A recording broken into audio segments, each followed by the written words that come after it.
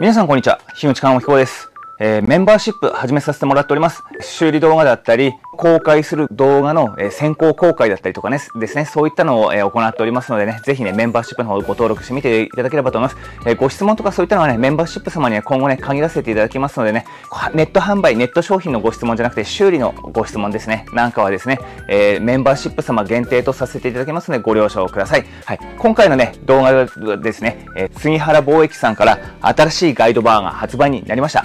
オレゴンスピードカット 95TXL を使えるガイドバーっていうのはオレゴンの方からですね、スチール用廃盤になってしまってたんですね。3年、4年ぐらい前でしょうか。えー、なので、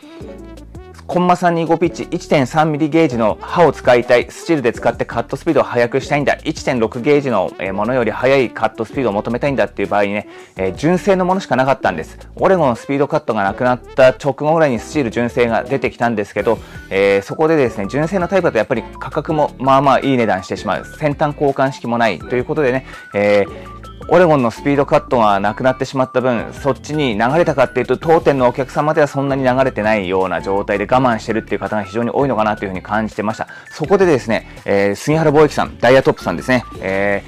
ー、そこのコンマ325ピッチ 1.3mm ゲージ、スチールで使えるガイドバー、両方出していただきました。05マウントと03マウント両方出していただきました。コマ数はね、72コマと80コマのね、2種類の刃を使うタイプのものになってるんですけど、ガイドバーとしてはですね、え、5種類ですね、発売になっておりますのでね、ご紹介させていただきますのでね、えーコンマ325 1.3mm ゲージの刃を使いたかったんだっていう方はね、最後までご視聴していただければと思います。えー、チェンの方はですね、スチールは74コマ、81コマなんですけど、杉原貿易さん、さすがですね、ハスクバーナーで使ってる方が流入しやすいようにですね、72コマ、80コマで、えー、販売しております。若干微妙にね、変えるあたりもね、そこが、えー、汎用性を広げるポイントなのかなっていうところでね、えー、非常にそっちの方が私も嬉しかったなっていうふうなところでもあります。ということでね、ちょっとマニアックな今回の、えネタになりますけど、最後までご視聴のほどよろしくお願いいたします。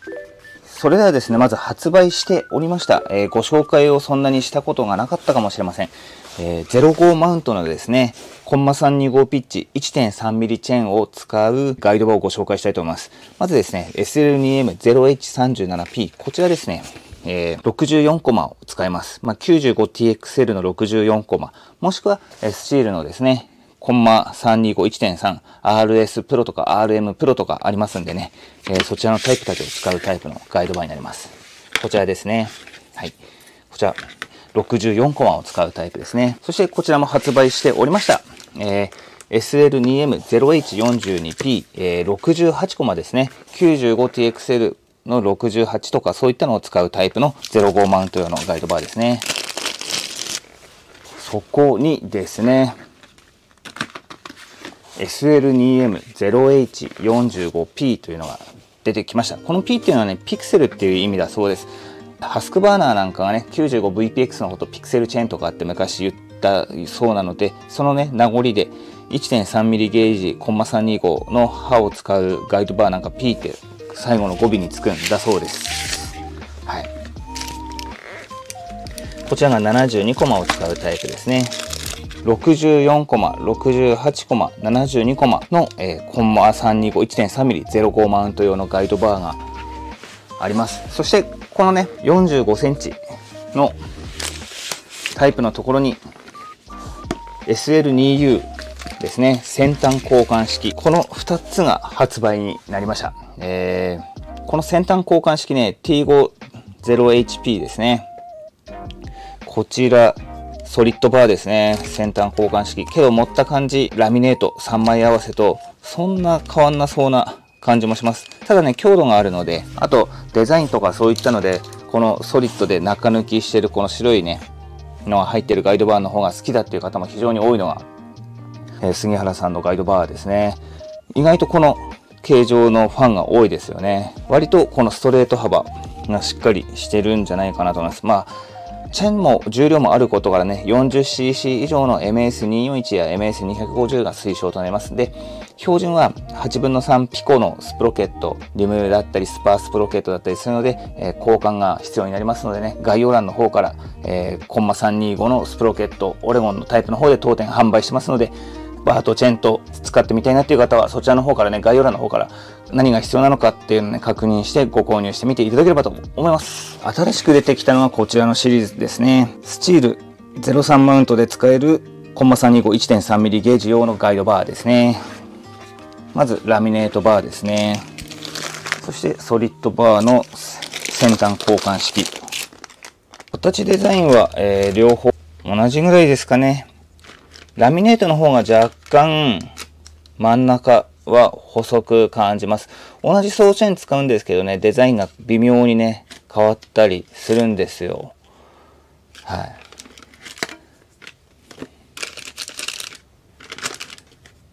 まあ、わずかですけど、ソリッド。一枚成形の先端交換式の方がちょっと分厚くなってましたかね。はい。という風な形です。こっちの方がストレートラインがちょっと長めですね。バットに向いてるかもしれませんね。メーカー純正はかなり分厚いのでね、えー、その辺と見比べると、かなり、えー、そういうバット方向を意識したバーがいいっていうと、こういうのもありのかなと思います。はい、そして、えー、20インチ。20インチはですね、ソリッドバー先端交換式のタイプしか、えー、供給ありません。ST20J4980 コマを使用するタイプですね。こちらですと、くり抜きが4箇所になるっていうところですね。すごいですよね。この5センチのところで、えくり抜き方を変えてくるとかね、その辺がね、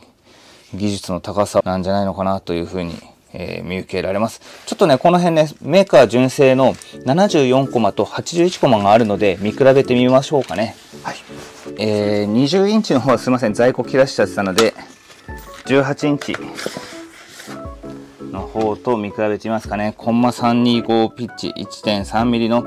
えー、74コマ45センチタイプですね。どうでしょう？じゃん。チールの、えー、18インチ45センチの方がかなり真ん中分厚いですよね。ここはね、かなり好みが分かれるところです。上下合わせれば78ミリは変わっちゃうんじゃないですかね34ミリは杉原の方が薄いですよね長さだけじゃなくて2コマ分の長さだけじゃなくてこのように幅も違うんですね。でどういうとこ狙いがあるのか、えー、ストレートの方はですねかかる刃の数が多いです。なので進みが若干遅くなりますけどバット方向のラインが出しやすいのがここですね。 STIHL はバットラインを出す場合はこの辺を目安にするんですかね。ちょっと、えー、使われる方々の感覚にもよると思うんですけどここにね R があることで働く歯の数を若干減らすことができるので、まあ、引っかかる歯の1つあたりの抵抗ですかね大きめになったりするときにこの辺とかで切ったりするときに、えー、進みを速くするっていう効果がある R バーになりますね。はい。その辺のね、狙いとか設計がね、ガイドバーによって違うんですよ。なので、えー、ガイドバーのメーカーを変える場合そういったところも違いがあるんだよっていうのでね使い比べてどっちの方が自分の好みかっていうのもね、えー、考えながら目立てをしたりそういう木を切ってみたりそうそういう本当マニアックな世界なんですけどそういう世界があるんだっていうことでね、えー、覚えていただければと思います。このガイドバーの違いで切り方がどのぐらい変わるのかっていうのはね本当にこれね使い慣れた方が体感してどっちがいいかとかっていうのをね体感していただくしか言葉では説明しにくいものがあります。私はねスチールのバーで木を切るっていうのは慣れてしまってたんで他の場合になった時にちょっとねあれ進み感覚が違うなっていうのをねすごい実感したことがあります。でそんなこんなを調べていった時にそこのねこのガイドバーの違いで結構な違いがあるっていうのをね、えー、教えてもらったり、えー、学んだ経験があるのでねお話できるんですよ、うんまあ、これはねほんと難しい世界になりますんでね是非ね。えー、そのガイドバーの形でどういう風に変わるか普段の同じメタトなのにっていうねそういうなところをね、え体感してみていただけたら、え面白い世界に入っていくんじゃないのかなと思いますのでね、ぜひ試してみていただければと思います。はい、いかがだったでしょうか、えー、このようにですね、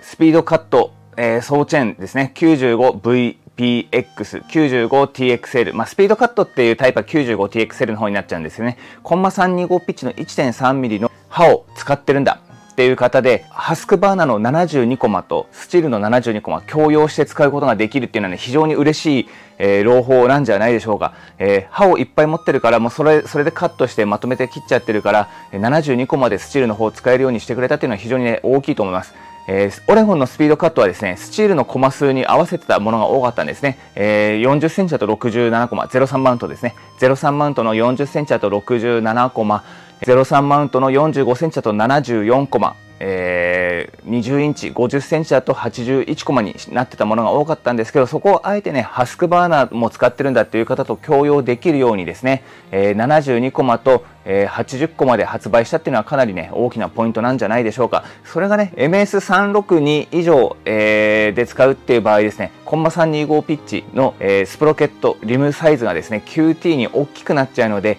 1コマ増やさなきゃいけなくなっちゃいますそこはね、ちょっとね、ご了承ください。まあ、なので、コンマ325の1.3ゲージはね、261ぐらいまで使うのがよろしいのかなと思います。はい。まあ、そうするとね、ハスクバーナの550、560と共用できるのでね、まあ、今回のお話かなりね、マニアックなガイドバーのご紹介になるので、